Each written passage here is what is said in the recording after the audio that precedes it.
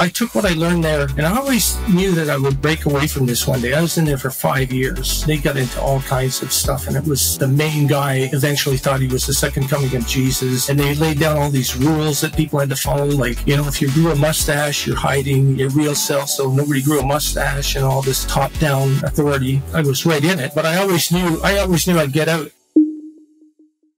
All right, Michael Peyton, welcome to Bitcoin for Millennials.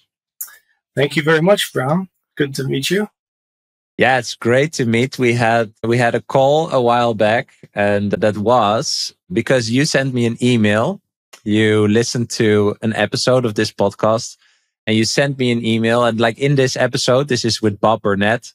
I don't have the, the episode number right now, but if people look for Bob Burnett, Bitcoin for Millennials, they can find it. But you emailed me because you listened to the episode, and in this episode, Bob and I talk about if Bitcoin is a cult. I think I asked. Bob, you know, Bob, do you do you think we're we're in a cult? And you listened to that episode and you emailed me and you shared that you had been in a cult. You're out of it, but you're all all the way into Bitcoin. And yeah, you shared with me what your thoughts were on Bitcoin and Bitcoin being a cult. And yeah, absolutely love that. So I really wanted to to talk with you. But I also shared that email on, on X, on Twitter, and people were all over it. Like, I want to listen to this guy's story. And I'm super interested to, to, yeah, to hear his views. So, well, here we are. So I'm super excited to, to talk. Yeah, me too. I think you have a very interesting story. And, uh, yeah, let, let's just get into it. I think the very first question should be, how did you get into a cult? Well, it's kind of a long story. Um, I guess uh, when I was in my early 20s, I, I rented an apartment in the second floor of a house in Toronto. And in the middle of the night, I was sleeping alone, and through my side window, I saw this big guy in the dark crawling up East Trough and trying to get into my kitchen window. So um, I it freaked me out, big guy. So um, I just snuck over to the kitchen and I figured, okay, if he's coming in the window, the best chance I have of when he's vulnerable, put his head in the window, I'm just going to smack him out again, right? But just before, just before I saw his head and just before I was going to hit him, I heard him say my name, Mike, Mike. And it was my freaking brother. And he was, he was crawling in the window the middle of the night, like one or two in the morning. And he's six foot four. So you can imagine, you know, seeing that figure outside my window. So um, he told me um, this was before cell phones and stuff, so nobody could call me, and I don't think I had a phone at the time. Apparently, well, he just said my little brother died in a motorcycle accident, right? And they had no way of reaching me, so I was shocked. We went downstairs, and my the rest of my family is by the front door, and it was devastating because he was 19, six foot five, great guy, and yeah, I remember my mother crying at the door. So we went back to the countryside and um, uh, I couldn't, I didn't know what to pray for because it was a very serious accident. I mean, he hit his head and was, was done. So I remember going in the backyard of my parents' place, looking up in the night sky. There was no moon and all the stars were out. And I, I just started to pray to God for, I didn't know what to pray for. So I just prayed for some answers as to where he was. So the next day, I heard about this this meeting. It was uh, like an introductory course to some meeting, right? So the guy said, "Hey, I'm really sorry about your brother, and let's go to this meeting. Maybe it'll help you." So we, we went to this meeting, and it turned out to be the introductory course to this cult. And it was very fascinating because they did a room full of people, and they were doing these things like uh, memory pegs, where they where they show you how to uh, enhance your memory and they were doing healing exercises where they're going into a deep meditation and apparently seeing psychically inside people, things like that, right? So I signed up. I signed up and I thought, well, that's pretty cool. It did turn out to be a cult. And I just want to say about cults, there's so many different variations of what people call cults. Uh, to me, a cult is just an authority taking over your your thinking, and that could that could apply to so many things today in this world. Like people just let other people and organizations do their thinking, whether it's political, governments. You know, there's, I thought the Soviet Union, uh, communism is a giant cult. you know, and Yeah. people people buy into it. So anyway, I went I went through the cult, and it was uh, a few years. And don't forget, I got in there for the prayer, asking where my brother was. So we did all these meditations, and there came a point where we had to do some healing. You know, go into this deep meditation and visualize somebody that we didn't know and figure out what was wrong with them. That was like a, a, a test for us. And of course, I didn't think I could do it. So I went into this deep meditation, and what we used to do is we used to get these little cards, and we would go home and we'd write down some people that we knew that were sick, write down their age, their name, what was wrong with them, and then we'd bring them in and use them, trade amongst each other. So I was in this deep meditation, and my friend that was guiding me, he took me down to the meditation, and I was counting down these colors and very deep into my meditation. And he described this guy, his age, where he lived, and asked me to go through his body psychically and figure out what was wrong with this guy, right? So of course you think I'm just imagining all this stuff, right? So um, I went went down. I'm going through all the different um, parts of his body, and I can still see it, bro. It's like all of a sudden this, this thing popped into my head, and I didn't want to say anything.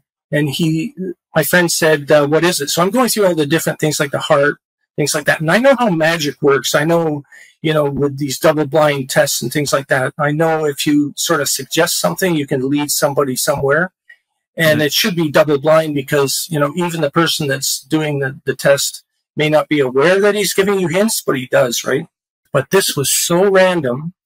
I stopped and I saw this thing in this guy's head just in my, my mind. It was like a metal egg implanted in his skull.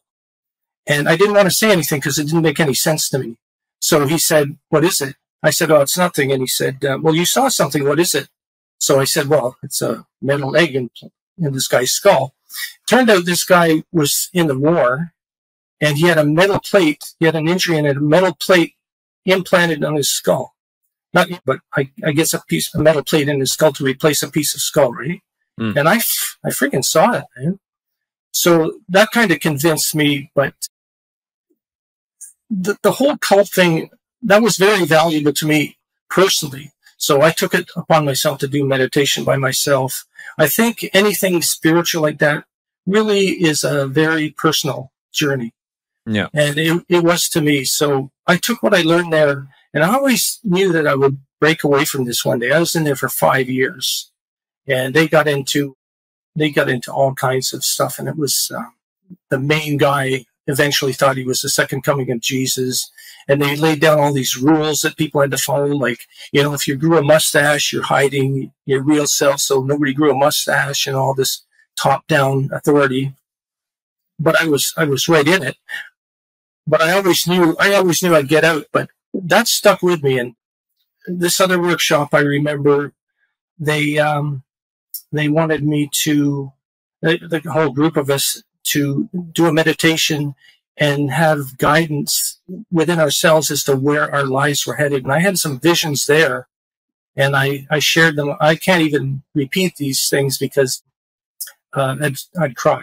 It's just very emotional for me to, to even bring it up. But that to me was very personal. And they didn't believe what I saw. And that was fine. I know, I know what I saw. So eventually, um, I, I got out of it. And, um, the, the way I got out of it was the head guy went down to the Cayman Islands and he started to, to buy some land in the Cayman Islands. And he got most of his uh, staff to uh, invest in it. So everybody invested in it. So then I met this girl, Power of the Pussy.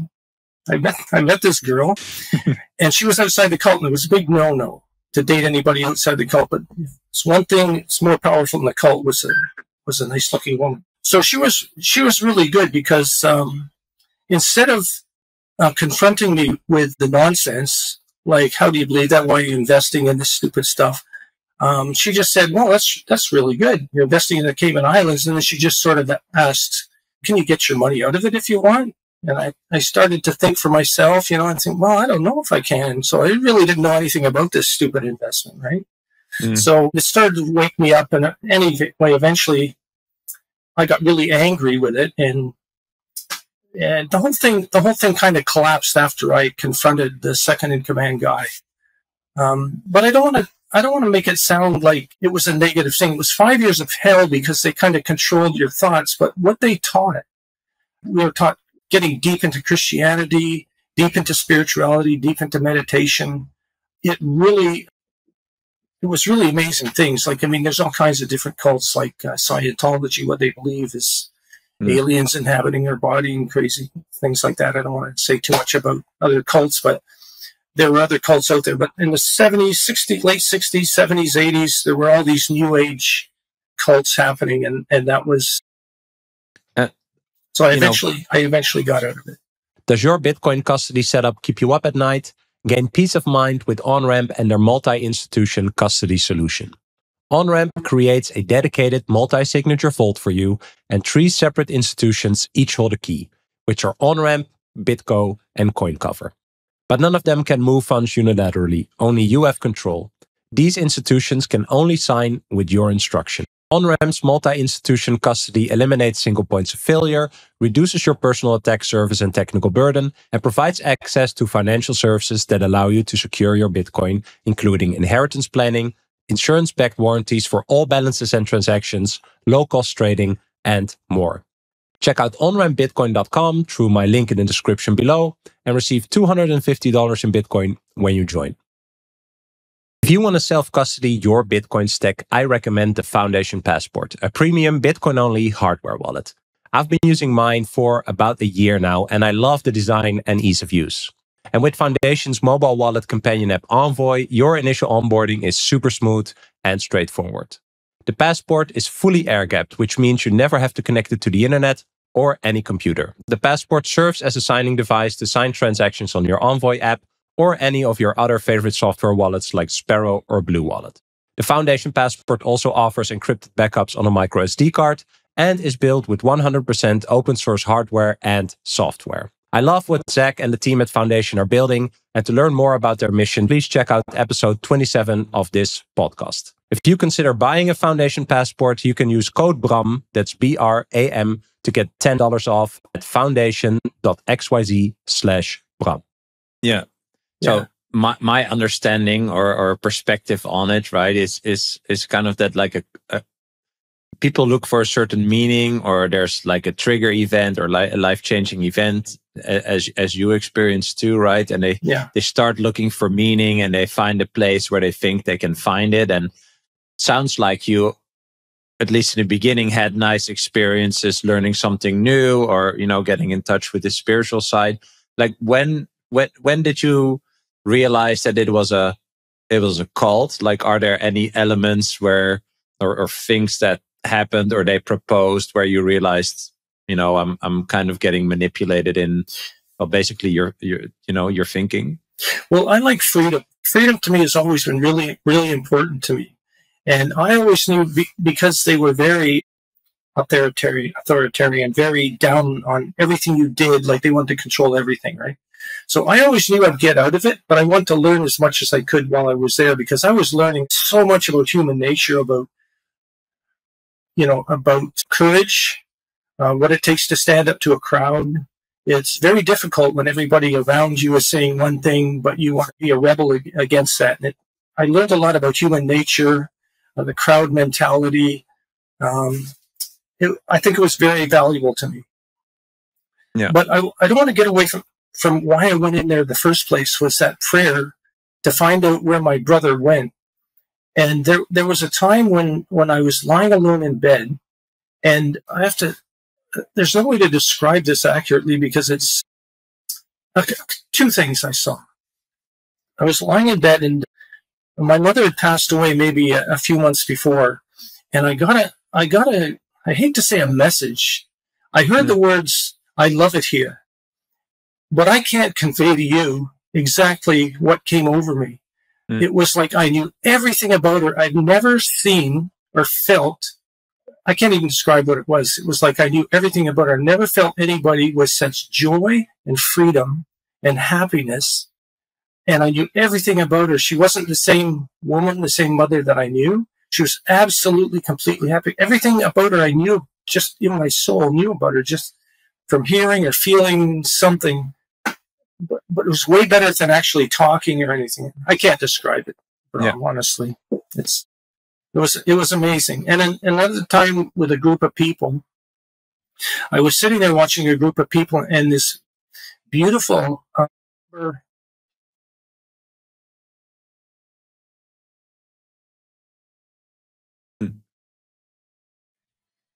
it's hard to talk about it, really. That's okay.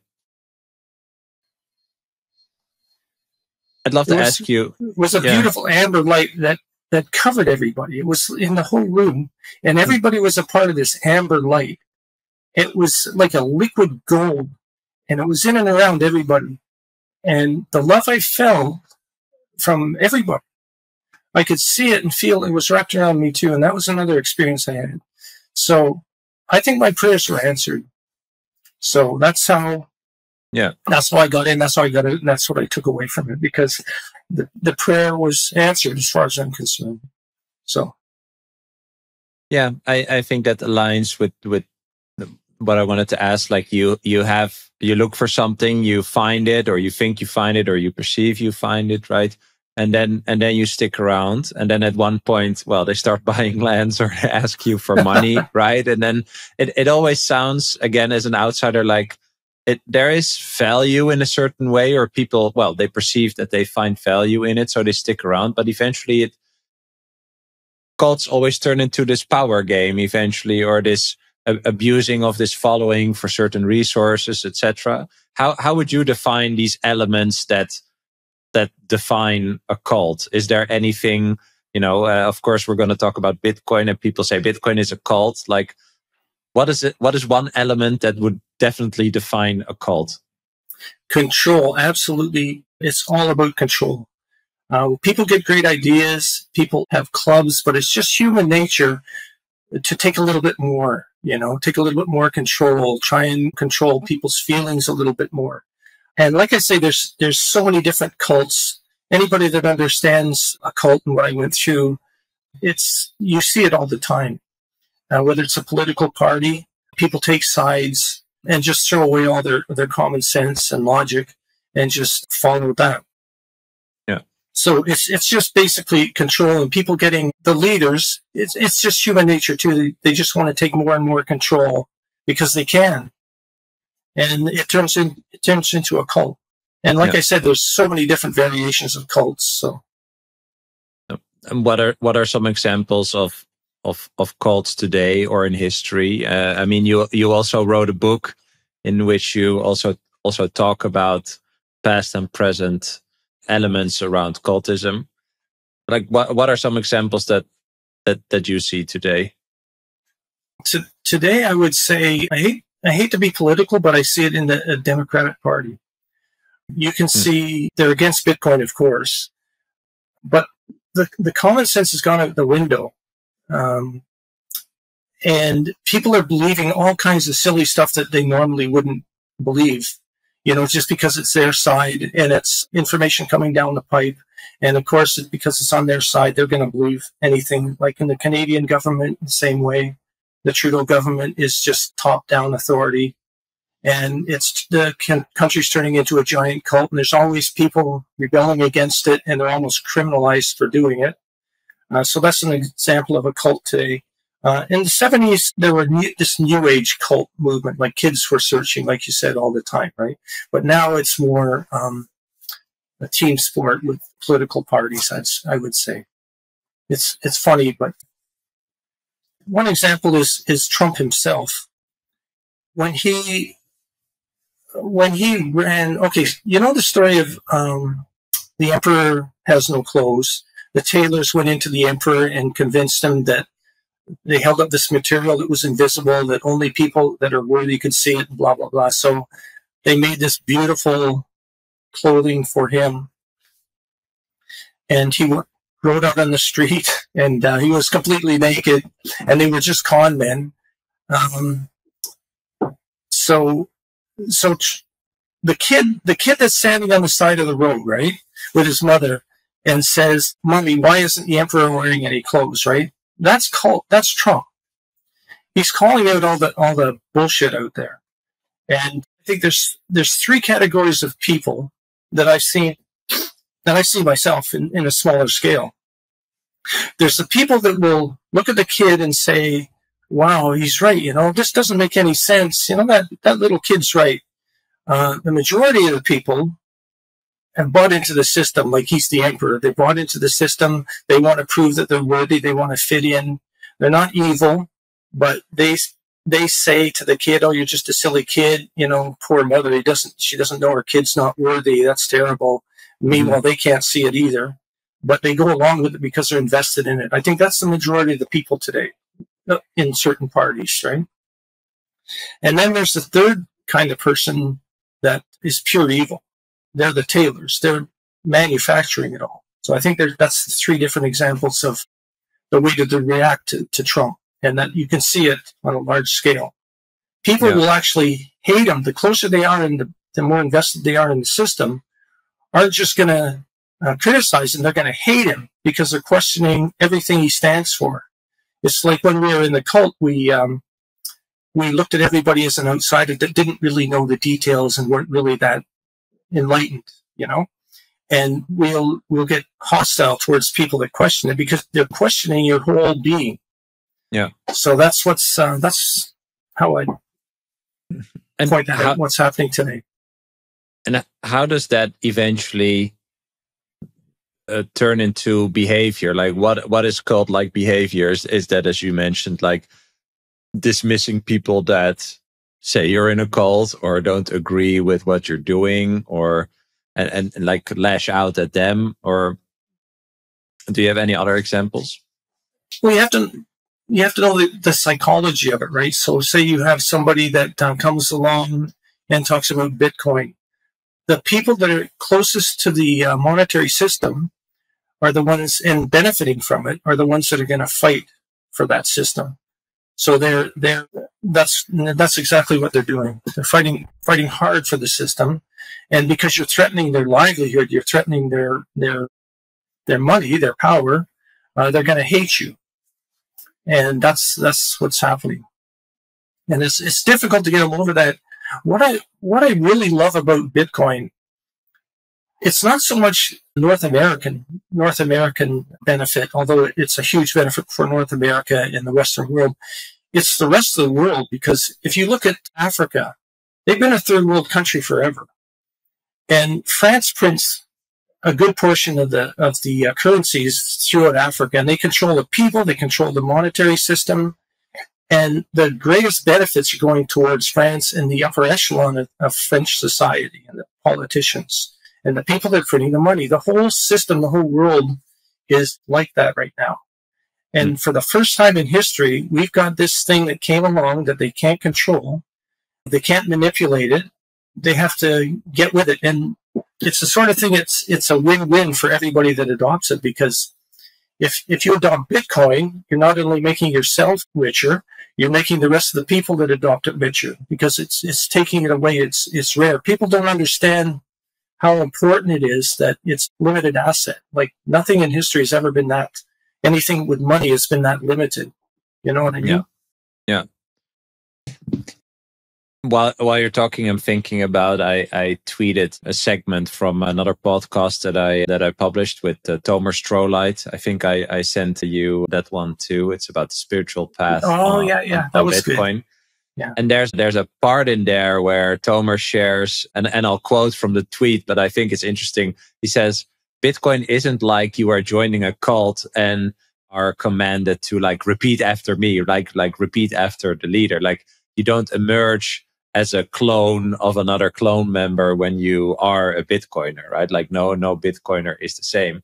And then he said, you basically emerge from an existing cult and, and you, you go into, into freedom, right? All, all by yourself. And what I like about that also with the emperor has no clothes example, right? I think the emperor has no clothes is also about like, you know, he's naked, but you still pretend he has clothes on, right?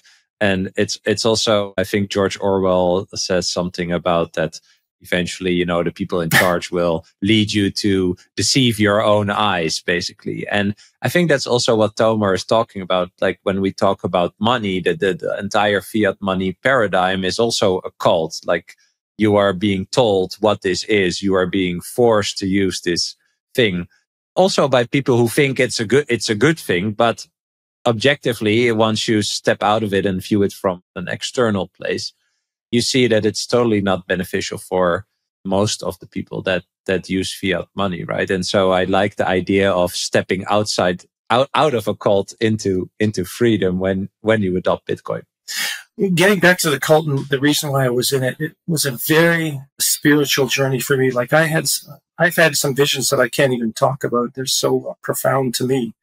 But you sort of get a, a sense of what's good in the world and everything about Bitcoin, all my senses, all my sense of goodness is directed towards Bitcoin. There's something very, very spiritually good about it and the way it's headed. And it's almost like it can't be stopped. Mm. Uh, hmm. there's, I think there's, there's a change in the world that's happening right now. And I think it's uh, inevitable. And I, I feel very good about it. So, you know, just coming from my gut feeling and you know, my experience with a psych, I hate to say psychic phenomena, but my visions, things like that that I've seen, I feel really good about uh, Bitcoin and where it's headed and what it represents.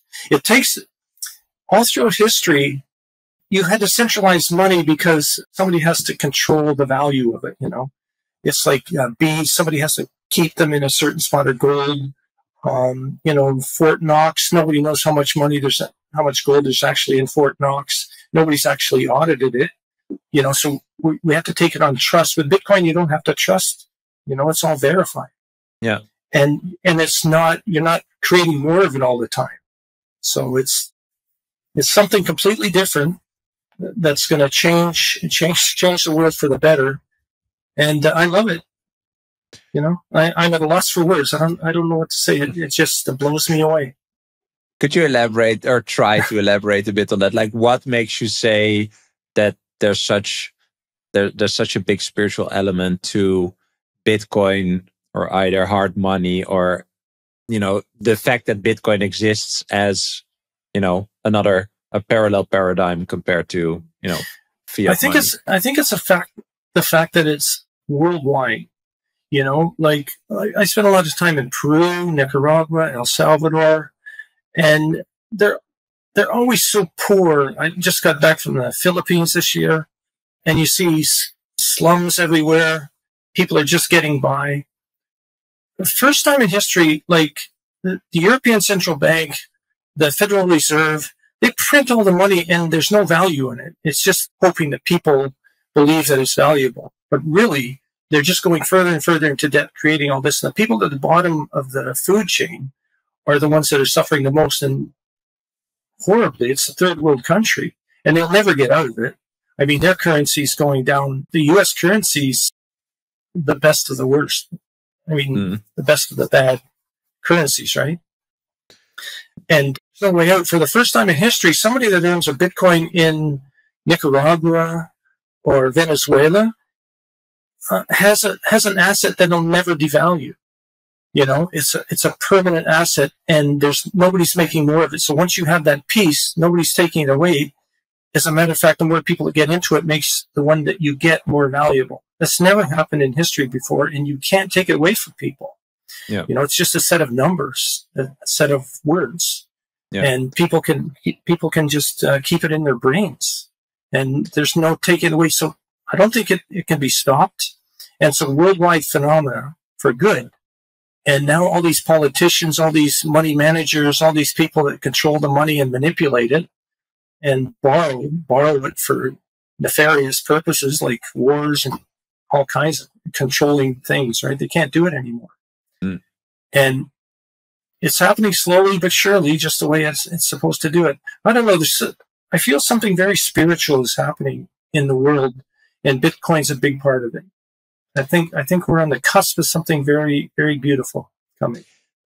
I love it when when you mentioned the word trustlessness, right? I in, in the previous episode I talked ab- about this a lot too. It's it's such a foreign concept for a lot of people, and I can't remember who who said it, but we talked about the game of chess that like the chess the rules of chess can also not be changed right? You don't have to trust the other person that they will follow the same rules of chess yeah or else we are not playing we are not play, playing chess basically. But the, the entire concept of trustlessness is just foreign to to people because they have outsourced you know myself included uh, so many elements their life. And when i think about the word word trustlessness and connect that back to the to the cult topic right? Like you are basically forced to trust this leader that decides well whatever you know you can learn or do or not well have the mustache or or date someone outside of the cult right and yeah. you and you basically listen to it because you get enough value from what they give you but along the way you're you're you're i want to say like moving the goalpost of i don't know your your influence or autonomy i think autonomy is a is a, is a better word right you know, up until a point where you realize well, for you, it's when you got out of the cult, right? And I think it's for Bitcoiners when they get into Bitcoin, like, okay, this is this is enough. Like, I know I got some value from it, especially in the Western world, right, from fiat money, but but there is a point where, yeah, you just cannot uh, b- believe it anymore. It's funny, but most people are very are beautiful. Like I, I remember even thinking the guy that was in charge is called the started it all. I really, I really don't know his motivation to this day. Like, I don't know if he really believed what he was saying uh, and, or he just wanted to make money and he, he was evil. I really don't know. I, I would love to sit down and talk to him. I guess he's passed by now, but I would have loved to sit down and, and pick his brain and see exactly what's in his head just for the psychology of it, you know. Yeah. But I, I think basically he was a good person, but just got carried away with his own ego and I think that's the thing. That's just human nature. Mm-hmm. Uh, first time we've got something that, that doesn't depend on uh, on that. Yeah, you know, it's something that you don't have to trust anybody. It's yeah. it's going to thrive regardless. And I don't know. I still um, contact uh, some of the people. This was, geez, 40 years, 30, 40 years ago, I was in it. And I, I met some of the people recently actually that were in it. They're beautiful people, just great people that have learned, they learned so much. And I don't think any one of them is sorry they were ever in it. Unlike some cults, like, yeah, I hate to, I hate to say Scientology because that's just, that's just to the extreme, but mm. things like that. That's, yeah. that's what people really think of when they, when they hear cult, but there's different, different levels, different severity of, of cults, but I guess it's just human nature. People want to live their life and let somebody else make their decisions for them, which can be a bad bad thing. It's it's yeah. like the banking system, right? Everybody trusts the bank, like they don't want to self custody because they don't trust themselves. They're so used to trusting the government to do everything, and uh, like that, like the leader of the cult. I don't know if he set out to rip people off or or be like the way he was, and I don't think the government set out to do that. But you know, I remember 30 years ago they introduced seatbelt laws. Before, when I was a kid, they didn't even have seatbelts in cars. That's how old I am. But I remember they introduced the seatbelt law, and my two daughters were driving the car. Do your seatbelt up, Dad. And it used to piss me off because, look, wearing your seatbelt's a good good idea, but I don't like the government telling me to do it. You know. And I used to tell them that, yeah, wearing seatbelt's is a good idea. The government's right people should wear their seatbelts. But when you give the government the power to tell you and fine you at, at uh, eventually the point of a gun, when you give the government that power, they'll they'll take it, and then the next time they'll take something a little bit more until you've you've got them taking away people's bank accounts for supporting a legal protest. You know, your pro, your rights are taken away, are taken away little by little by little, and that's what pissed me off about the seatbelt law. Even though it was like this minor little thing, but I hated it at the time. I love freedom, and Bitcoin is the ultimate freedom for for worldwide. It's a, it's a yeah. hell of a phenomenon. I think the seatbelt example is nice because it could also have just been a suggestion. You know, if you wear a seatbelt, it's safer. but and and and per- perhaps there are arguments, right, that uh, you know people are less cr- critically injured, for example, if they if they have an accident, right? But if, you stick with the example, you could say like, well, it's the best idea is to wear a seatbelt, but you you can still decide if you want to or not. Yeah, that's that's the thing. Is like uh, when the government comes along, they really believe that you know you should wear a seatbelt because of the insurance. Like your insurance rates will go up if more people die from accidents, things like that. There's always good reasons, right? Mm-hmm. But um, so that's why I think it creeps in. Socialism creeps in, and before you know it, you're living in a in, not in a free country, little by little, right? And that's that's what I like about Bitcoin because there's nobody changing the rules. They can't do it. Yeah. You know, they can't create more Bitcoin. They can't manipulate the system whatsoever. And everybody's checking on it all the time to make sure that happens. Like all Yeah. these nodes are out there. It's Well, the, uh, the incentives incentives are aligned in a, in a good way, right? Like you don't know, maybe the seatbelt manufacturers came up with the law, right? I think that's the that that's the point. If we stick to the example, and you know, the fact that Bitcoin is just a set of rules that anyone can adopt, and anyone who adopts it is incentivized to follow these rules, so the network becomes stronger, right? But yeah, there's so many of these different elements. I think also uh, I, I think you mentioned, you know, the kind of this innate human corruptibility that we all have, even if we start out, you know, as a nice guy getting a group together to do meditations, turns out to be a, a cult, and and then he wants money from the people that that that he helped. Um, I hate to say it takes away from um, it takes away the decisions from people. exactly. But yeah. human nature's scary because I'll give you an example. I don't like to use my family too much, but uh, during COVID 19, right, there was a um, minister in Calgary that wanted to open his church and and everybody, all his parishioners wanted to go to the church and, and worship. And this guy, I think it was Polish, some minister out there. So he, he opened up his parish. I mean, you could go to Costco, you could go to the big box stores, you could go to certain places uh, that the government deems okay, right? But you could, sorry, you couldn't go to church. So this guy decided to open his church and everybody was agreed to go there. You know, nobody was forced to go there. And the police showed up and arrested this guy and kept arresting him over, over the years. Uh, every time they, they were making up things, the Trudeau government were making up things to get this guy arrested. And the scary part was, um, I remember my sister talking about it, right? And she's, she's a sweetheart. She's my older sister, but everything the government does, I mean, you got to follow the rules. You know, you can't break the rules. And I remember talking to her and she brought up this priest and she said, you know, I don't, I don't wish ill will on anybody, but you know, if he got COVID, it would serve him right. Talking about this minister, right? And it just reminded me of how Nazi Germany came to be. Like, you know, you keep telling people that the Jews are taking all the money, the Jews are this, the Jews are that, and people start to believe it. And pretty soon, you know, you got people turning them in. And if they get beaten in the street, they say, Oh, it was terrible. But, you know, he really had it coming. I mean, it's terrible. I wouldn't wish that on anybody, but, you know, he is stealing money. He's doing this because it's a hor- it's a scary thing, human nature. You, you see this uh, group think, and that's what, Yeah. that's what the monetary system is now. And the governments, uh, the more power you give them, the, the more they take. So, And so, how did you eventually discover Bitcoin, and what made you really get its value?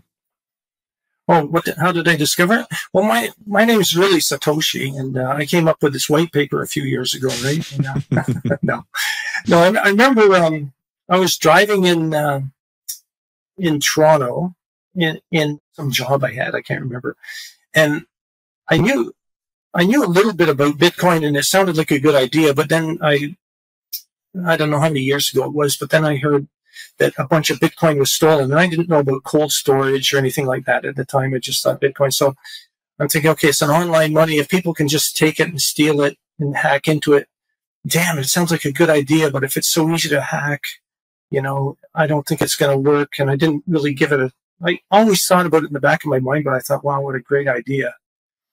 But then, um, I don't know. I'm kind of retired, so I'm watching all these YouTube videos in the last couple of years, and yeah, so that's that's really educated. You really have to put the time in to understand just how profound this thing is. And uh, God bless all those other people. They're starting to, they're trying to start all these altcoins. And the most important thing about Bitcoin is there's no one controlling it. You know, it's, it's a consensus. And it's the only one, only one you can say that about. So to me, it's the only one with real value. I mean, maybe these things will find a use case, all this, some of these altcoins, but basically the real value of Bitcoin is the, the network effect. I even saw this astrophysicist, Giovanni something, talking about mm-hmm. yeah. the power law with Bitcoin. And he says it's the most beautiful thing he's ever seen. You know, you know, when astrophysicists are talking about it and explaining it, I'm trying to follow along what he's saying. I saw saw his video. It was it was very extremely interesting. Yeah. yeah. But he's saying uh, it goes up and down over time, but in the long run, you can see it following a perfectly straight line up and to the right. Yeah. And it's this power law that aligns with the planets, the same way the planets work, the same way cities grow. Um, and he's he knows what he's talking about. Yeah, I talked. I I have an episode with him. We talked for three hours, while he, he talked for two hours and uh, fifty eight minutes, I think. and I just asked some some beginner dumb dumb questions, but yeah, it's it's it's fascinating. I think it's also once once you see this and you've opened your mind, it's just so interesting to find all these other dimensions of Bitcoin and also all these different people that that talk about Bitcoin from their point of view, right? Was was there anything? I mean, when you discovered Bitcoin, of course, you were you, you were older. You uh, grew up in this Western country, you know, prosperous Western country. Was it hard for you to get out of the the fiat money groupthink in a sense, or like, uh, like what helped you with that? That's a good question. I guess I was never really 100% into it. Like I, I would make money, spend money. Years ago, I used to buy houses. I mean, I bought a house and made some good money on that. I invested in some other houses and, and made some money, sold it too soon. When 2008 came along, I pretty much sold everything. I had uh, three or four houses, I think, and I pretty much sold everything because the the way the financial system kind of collapsed, I thought housing was going to tank, and it should have. It should have actually tanked, and it did in the U.S., but it didn't in Canada because Canada pretty much bailed out the banks, which they shouldn't have. I mean, the free market would let these things even out, right? So I sold it and moved to Peru. I said, I'm done with this. Just get the hell out of town. Yeah. But I was so, never really, never really into it like I can't stress enough what it, what I think Bitcoin is such a profound idea. Mm. Like people, people just don't understand how profound this is, how beautiful it is, and how it's going to change the world for the better. It's a very spiritual thing to me.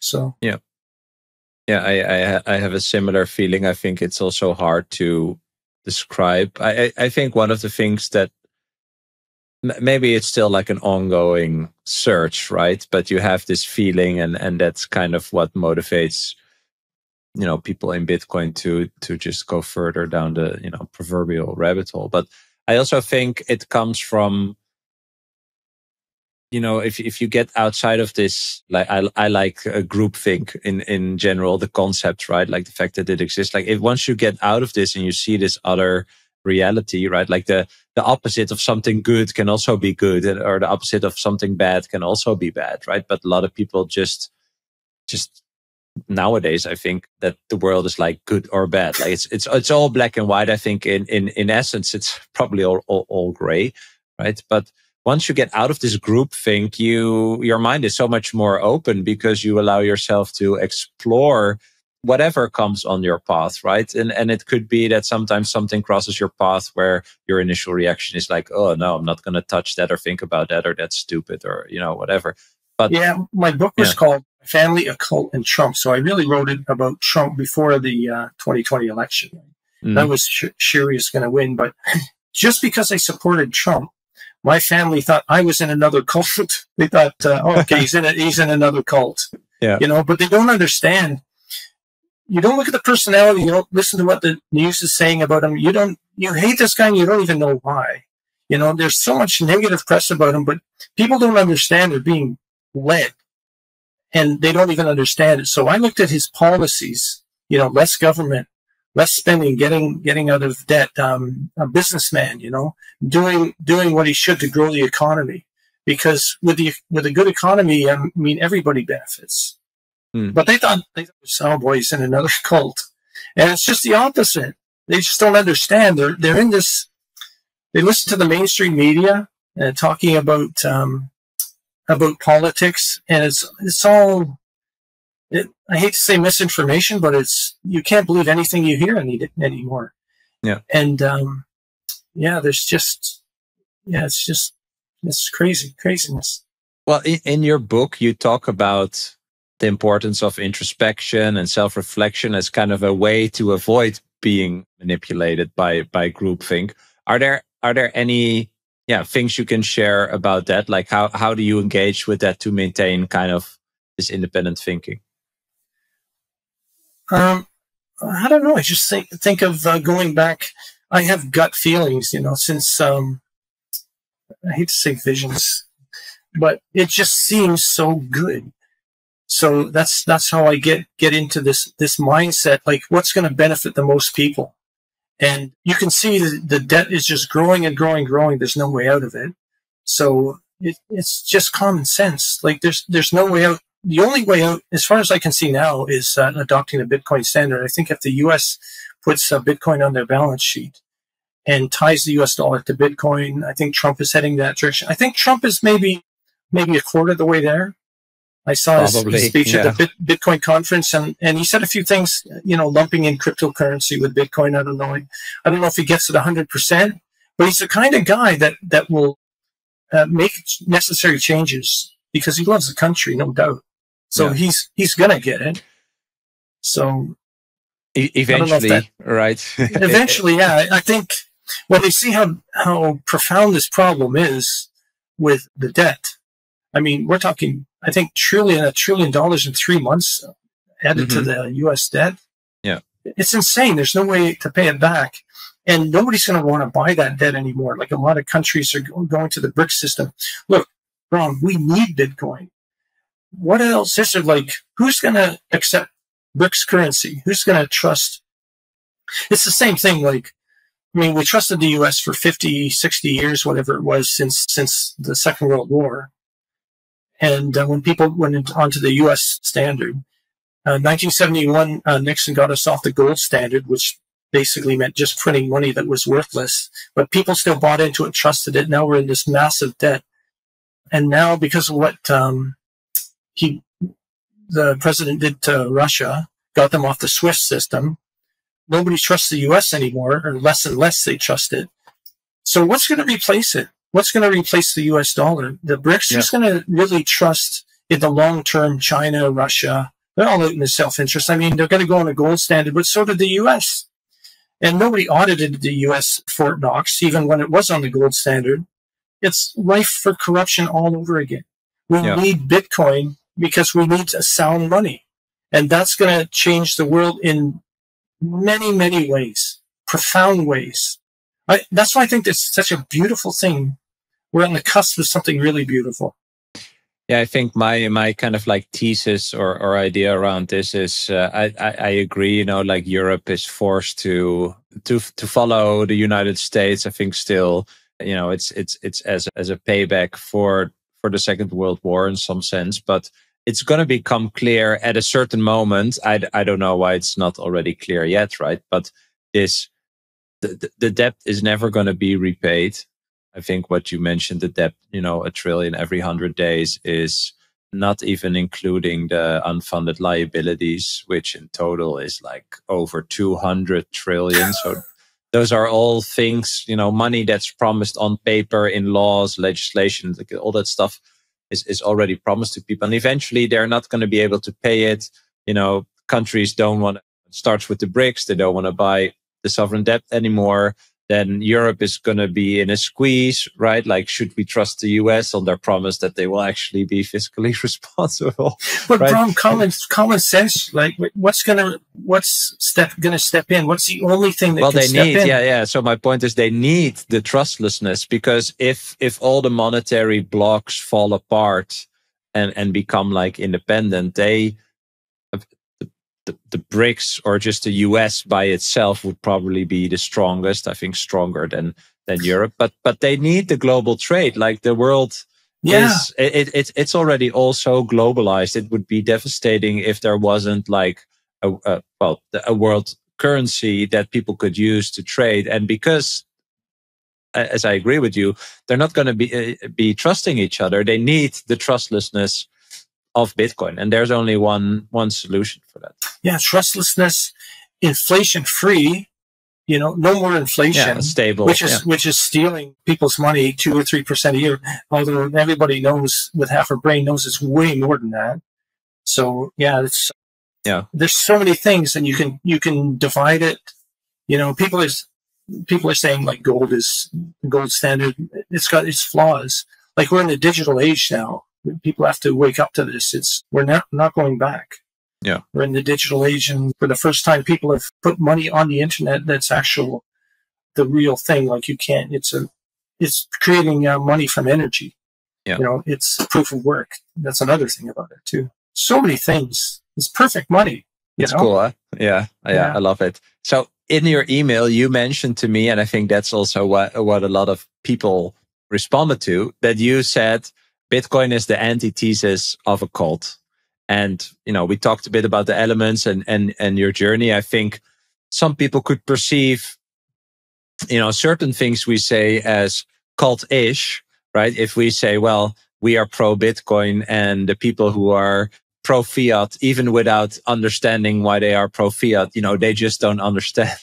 I think that's, It's that's absolutely antithesis of of yeah. Uh, Yeah. How would you explain that? Hundred percent because um, there's no top down authority. There's nobody at the central bank. There's nobody at the Federal Reserve saying, "Oh, we're going to set interest rates at this much," and people are just waiting with bated breath all over the world. The European Central Bank, Canada, is it going to raise interest rates? We're waiting for the governments to do all this stuff. Bitcoin just does it does its thing.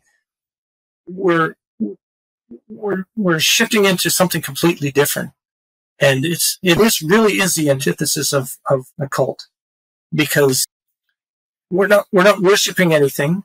We're just we're just seeing something that's absolutely real and can't be changed.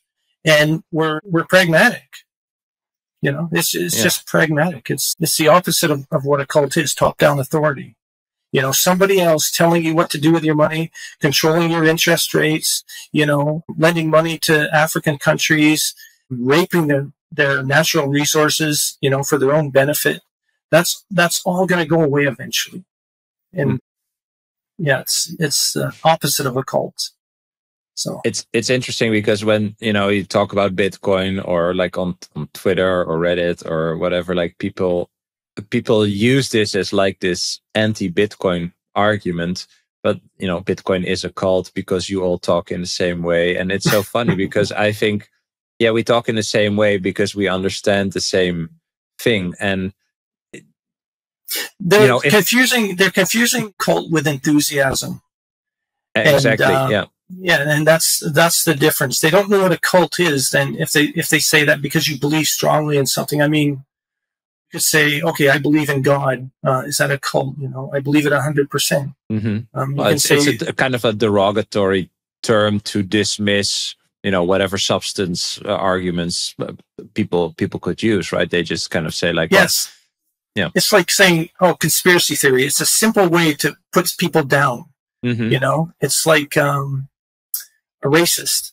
You know, Yeah. if you want to end an argument, just call them racist. So what, what it's like saying, uh, do you beat your wife? If you call somebody racist, you spend 20 minutes trying to just tell everybody why you're not racist and you're just digging your hole deeper just Yeah. by them accusing you of that, right? So it's, yes, it's the, it's the opposite of a cult.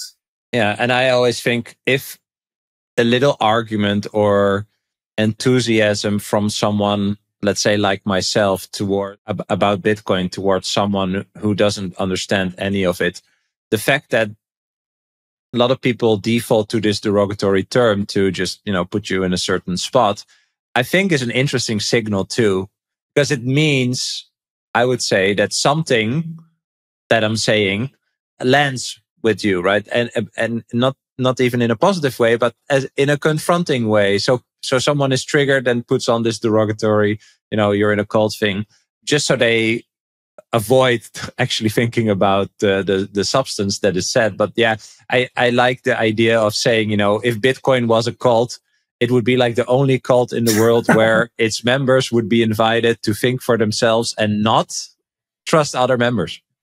Yeah. And all of the little, little lights are coming on. Click, click. You know, like look at Michael Saylor. He didn't understand it at first. And Jamie, Jamie Dimon, he was criticizing well, it. Jamie you know? Dimon, I think, is still debatable. but, Maybe. Yeah. There's so many people that are, that are into it now that weren't into it before, but they do the work and they understand how profound it is. You know. Yeah, um, exactly. Um, you know, what do we care? I mean, they call us a cult. They call us a cult. They just don't understand. Yeah. Well, it, it, it's funny because, you know, the entire idea also of this podcast is not to tell people you should buy Bitcoin, right? I mean, like that's another argument. People say like, oh, you only talk positive about Bitcoin because you have Bitcoin. And then I always say, well, it would be very weird if I would be talking about Bitcoin and not have any Bitcoin. Like that would be way worse, right? So this entire argument is super flawed but yeah, it's just it's just how it goes. I think you know what what triggered me also in your message is like you know this is someone who can actually explain what a cult is, and the fact that Bitcoin is the antithesis of a cult. I, I absolutely love it. I I still want to challenge you and ask you mm, like what's what is what is your your future belief about Bitcoin, or what's what's the place in the world for Bitcoin? Well, like we said, I think we need a reserve currency. And I think Bitcoin's headed, headed that way because there's nothing else like it. And I don't think there's anything else that could do what the US dollar used to do.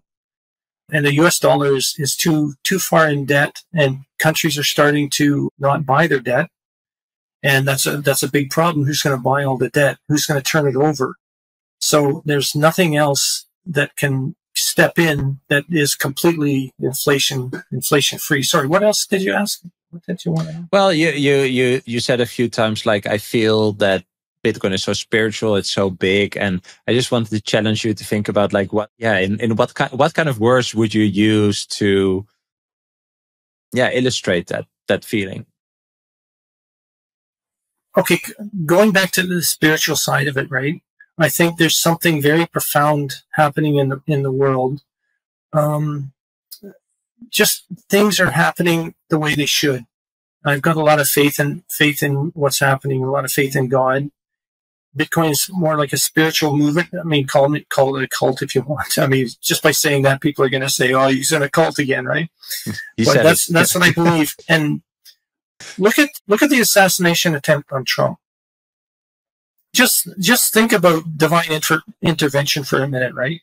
So the FBI and the, and the Secret Service let this guy in. I don't care what they said. They sure weren't protecting him. They didn't care. There was all kinds of shady stuff going on.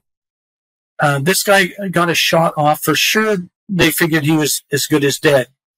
Uh, he just happened to turn his head at the right time and it nicked his ear, right? And if you mm-hmm. think of think of um, how things could have gone, if that bullet completely missed him, if it completely missed him, people would say, oh no, there's never any bullet fired. He was never in real danger. Trump set it up. If it had been an inch this way, it would have killed him. But it, it hit his ear. So there's kind of proof that it hit him, but it didn't really do any real damage, but it was enough to make him stand up and go like this, you know? So that bullet was guided to hit just enough of him to shock the world let let people know it's serious because it actually hit him, but not enough to do any real damage. So allow them to stand up and fight, fight, fight, right? I don't know. There's too many, too many coincidences happening. So hmm. I think it's some kind of divine intervention. Look, who knows, Bram? You know, who knows the mind of God, the mind of what, what this universe has in store. I, I don't profess to know anything about the mind of God or anything. I had I had some visions sent to me by myself I can't even talk about. I, th- I think if somebody knew the mind of God, it would drive them mad. Our minds can't handle handle the the wonder of whatever. Yeah. So you mentioned before, like the the the the the positive emotional and spiritual growth that you gained from the from the time in the cult, despite also the eventual negative aspects of of being part of it, right?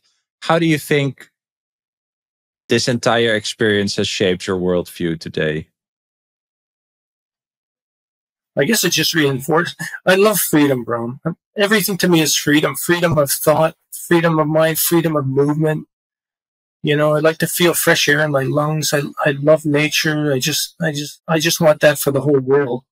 And I saw the oppression in the cult and I always knew I'd get out of it someday, but I want to learn.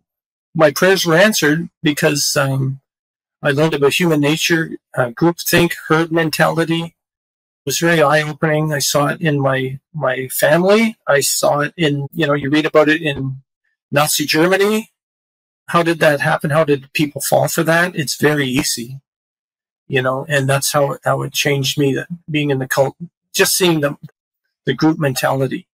And so when, when I saw your podcast and, and the guy, and you asked the guy, you think it's a cult?